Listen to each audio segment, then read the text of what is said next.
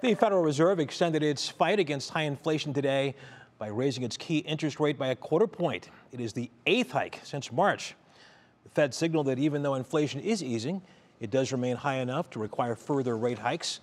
That brings the new Fed rate to as high as 4.75 percent. Analysts say this move will likely raise the cost of many consumer and business loans.